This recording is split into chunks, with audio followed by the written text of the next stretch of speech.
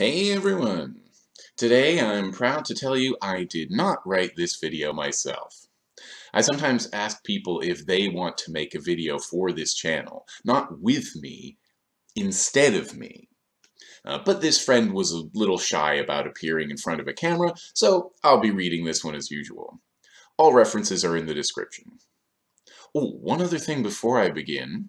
I'm working on a video about Squid Game, you know, like everyone else. So that should be out in the next few days. If it's been a few days already, you can find it on this playlist. Shall we begin? Hmm. Hi everyone, my name is... well, never mind what their name is. And I'm here to talk about social programs. Social programs are organized efforts by a society to try and provide things for its populace, usually through governmental means in our current society. You may have heard of some examples before, such as the NHS or National Health Service in the UK, or Social Security in the US. If you're not familiar with these, that's okay, because I'll be more extensively covering them and a bunch of examples. To establish a definition for a means-tested social program, we must also identify the alternative. There are two common types of social programs in our society. Those that are universal, such as the NHS, and those that are means-tested, like Social Security. Universal programs are available to everyone, while means-tested programs have several conditions that must be met for someone to benefit from the program. For example, I'm going to give out stickers. However, I don't want to give stickers to people with too much money because they can just buy their own. As a means of excluding those who can already buy stickers, I have to create an application process or some other filtering process to identify who actually deserves or needs my stickers. It gets much more complicated than this, but that's the basic premise. Means-tested programs are popular among politicians across the institutional political spectrum, including liberals, conservatives, and even social democrats. This phenomenon is less widely recognized or discussed among the general populace, and it isn't often given a name when it is. You may be confused as to why anarchists such as myself would be concerned with social programs or the mechanisms of modern government. While this isn't a video meant to dispel misconceptions about anarchism, I very briefly want to clarify anarchism is misunderstood by many people to imply the absence of all societal organization, and the further atomization of the individual who has to fend for themselves and possibly work with other small groups of people to survive. This deeply misguided idea, largely spread by media portrayals of anarchy and joke ideologies like anarcho-capitalism, is an idea not embraced by any serious anarchist. Anarchists absolutely want to abolish the state and its oppressive institutions, but one of the many reasons for this is because we believe horizontal organizations and democratic processes can better provide for the needs of the people. Anarchist societies, both temporary and enduring, have embraced the idea of social welfare and universal programs. But more importantly to today's video, understanding means testing will give you a better idea of the flaws of our current capitalist welfare system and how it can be improved, even if a broader social transformation is not yet in the cards. There are many means-tested programs utilized by countries across the globe, and they all share the same core problems, although sometimes to different extents. I'm from the US, where means testing is rampant, and normalized in all aspects of our society, so my personal examples and experiences will be largely based on such. One area of means testing that I've been very familiar with is applying for financial aid to go to university, which is very, very expensive in the US. I grew up incredibly poor with my parents buried under mountains of debt and only able to hold on because of government assistance. Because of this, I wouldn't possibly be able to afford a, a post-secondary education without some form of financial aid from the government or from the university that I was attending. To receive this aid, though, I had to apply for it every single year through both the federal government and my state government. These applications require an astronomical amount of personal information, such as you and your family's demographic information, the work history, income, and assets of everyone in your family, all of your documentation as a citizen or other lawful resident, and pretty much everything else you can imagine. Multiple times these applications wouldn't be enough. I would get audited by my university to provide even more information and to verify the information that I already provided. All of this was to receive a modest bit of money aid that would change from year to year, but not what you would expect for someone as poor as myself attending a state-subsidized university. I was still left with thousands upon thousands dollars of, of, of debt to foot the bill for, which left me with few options. I wasn't receiving any help from my parents, so I either needed to take out loans, work to earn the remaining amount of money, or be one of the lucky few who gets a scholarship through seemingly random chance. One of the many sick and twisted things about means-tested financial aid is that if I chose to work, I could have actually received less financial aid the next year, as my income would have increased, therefore making the government think I just didn't need as much. This incentivizes either working an increasing amount every year to make up for the lost aid while also being a full-time student, or to delay paying until after graduation with the help of loans that could crush one in interest and debt if job prospects don't pan out properly. It's a trap that punishes poor students while enriching glorified loan sharks and greedy universities. Scholarships aren't some magical solution to this problem either, and not just because they're more complicated to obtain than financial aid. In 2019, there were 19.73 million people who attended post-secondary institutions, both public and private. However, only 1.58 million of these individuals received some form of scholarship, which amounts to 8.1% of students. These lucky few who received scholarships were treated to an average of $3,852 per recipient, which is nowhere near enough to make up for the costs not covered by financial aid. The average cost of tuition, fees, room and board was 30000 of course varying widely depending on the public-private status of the institution. While I couldn't find a concrete way to determine an average amount of aid received across public and private institutions, I found an estimate from educationdata.org which stated that even with financial aid, 70% of universities are unaffordable for most working class and middle class students. So clearly, means-tested financial aid is not doing enough to make up the gap between rich and the poor. In fact, it's widening the gap because all these considerations and all this stress simply doesn't matter if someone's family just has enough to pay for their education. Means-tested financial aid is still better than nothing for higher education, as any grad student can attest to, being entirely unable to receive government assistance, but it's still deeply flawed.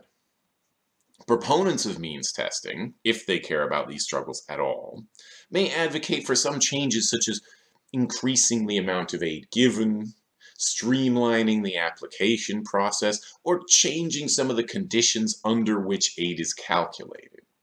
These changes, while a potential improvement, would do nothing to address the core problems of means testing, such as disincentivizing financial advancement or making the application process more inaccessible to the disadvantaged.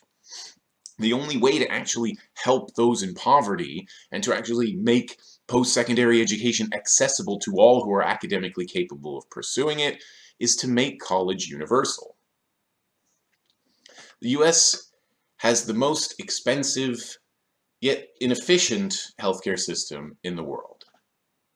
There are many culprits for that, such as capitalist greed, deregulation, and of course, means testing.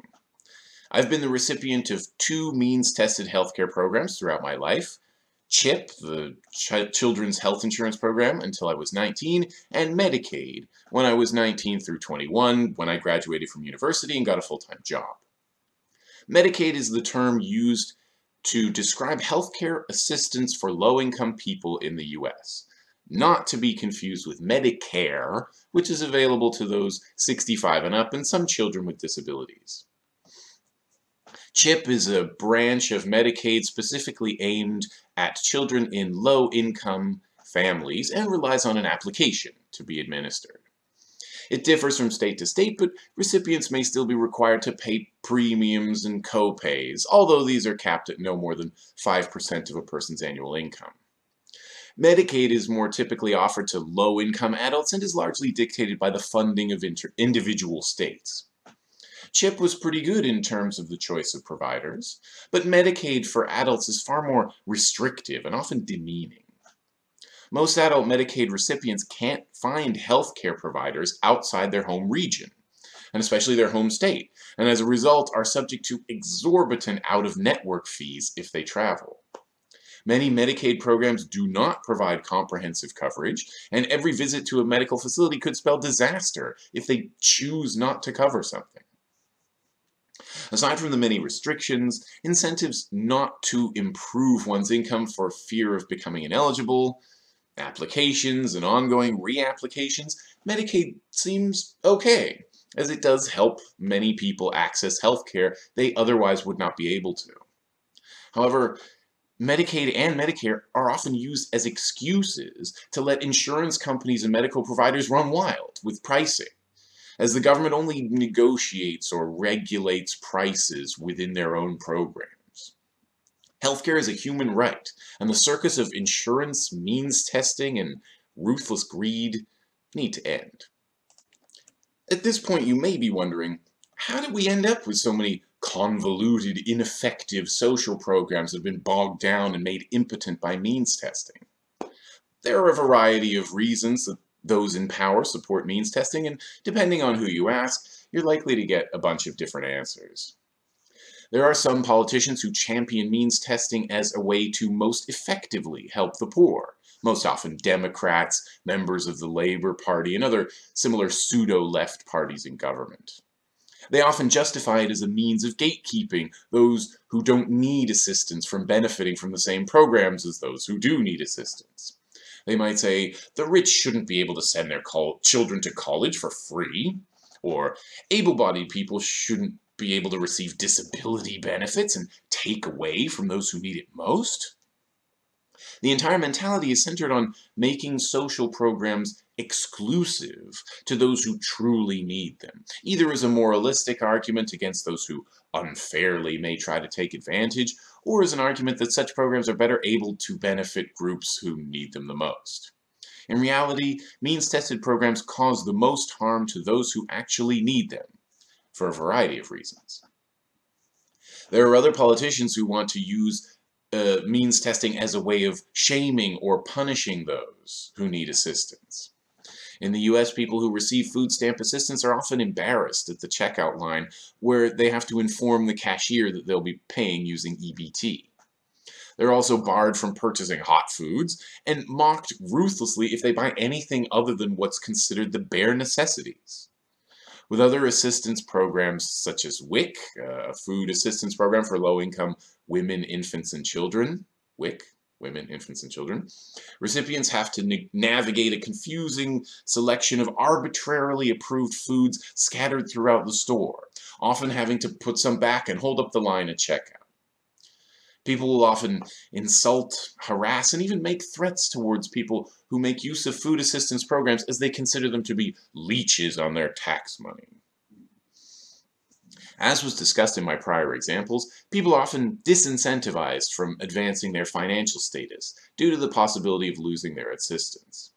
This is particularly awful with disability benefits, where most recipients have to undergo a years-long evaluation process where they have to subjugate themselves to poverty with an income of no more than $1,300 a month, and have difficulties getting married, which can jeopardize one's benefits, have less than $2,000 worth of assets, including savings and personal possessions, and must undergo invasive medical evaluations with doctors incentivized not to believe them. Government officials and their supporters will justify all this by saying that one must truly be suffering to be worthy of assistance that can alleviate the need to work. Oftentimes, means testing is used purely as a means of cruelty. In the United States, low-income housing, as rare as it is, will be purposefully built in undesirable areas, made with lesser quality, and use potentially dangerous materials, all while costing almost as much as standard housing. This results in adverse health outcomes, both mentally and physically, which further feeds into the means-tested healthcare and disability systems that we've already discussed. Regardless of the social program, applications often take ages to get processed through a web of inefficient bureaucracy, take even longer to actually start paying out, and are constantly jeopardized by threatened cuts or callous public officials who try to find some reason to take away people's benefits. The government is incentivized to be as restrictive as possible, as they get to limit the budget, use their inefficiency as a scare tactic to try to get people to work harder, and then point to their own failures as a means of justifying further cuts to the ineffective programs. Means testing is a crude, callous tool of oppression from the ruling class. The United States might be particularly egregious with its many means-tested programs, but governments around the world utilize means testing to the detriment of their citizens. The alternative of making programs universal is often scoffed at by capitalists and their mouthpieces in government and media with fears of high costs and moral decay. However, universal programs have significant merit and should be the ideal of any socialist, anarchist, or other human being with an ounce of empathy. To use one example that I've already discussed, the US government spends an astronomical amount more on healthcare than other nations, while only covering a fraction of the population and receiving worse outcomes. Universal health care would be cheaper, cover everyone, and promote greater outcomes due to the lack of incentive for exploitation. I'll include a link uh, to a video in the sources that does a much more exhaustive job of explaining how this is possible, but the general premise is cutting out bureaucratic waste, setting reasonable prices in place of corporate extortion, and reallocating funds from executive pay, administrative overhead, and raw profit back into services and savings. The same can be applied to other social programs as well.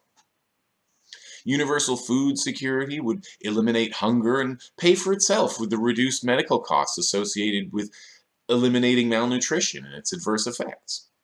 Universal housing would eliminate homelessness and harmful transients and has already been found to be a highly cost-effective uh, means uh, in comparison to ceaselessly fighting homelessness with police brutality and other cruelty.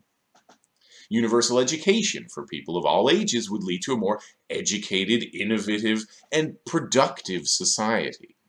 And as a side note, it's baffling to me how most people haven't figured out that having more doctors, teachers, engineers, and other positions typically barred behind expensive higher education would be a good thing.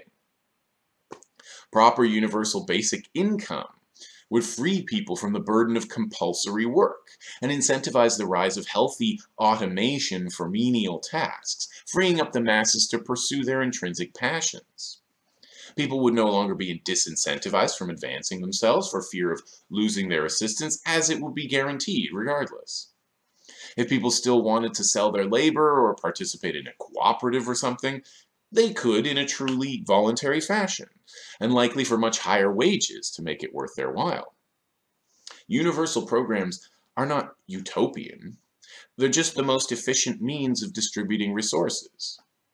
They're still bound to the laws of nature, like supply, distribution, organization, and so on. There will still be many challenges, but it's worth it for the many benefits it would bring to society.